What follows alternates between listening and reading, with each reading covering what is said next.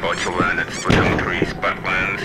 The temperature is comfortable at 21 Celsius. We got ourselves a sunny day. There's just a little bit of cloud. 45%. and if you... If you decide to look to your side... You if you look at your side window, you will see, uh, see our famous airport landing pad. The... Pyre Forehead.